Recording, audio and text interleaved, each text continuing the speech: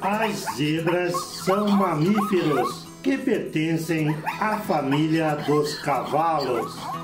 Quanto às listras, elas auxiliam em sua camuflagem.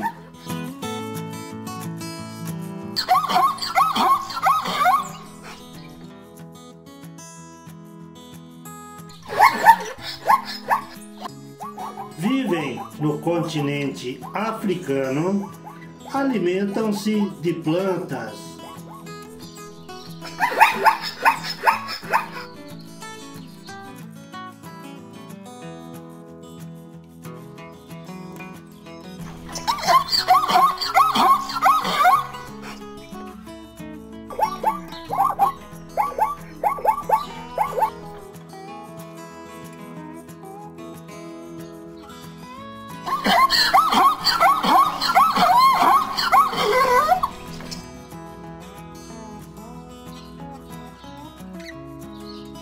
as zebras podem atingir até 50 km por hora de velocidade.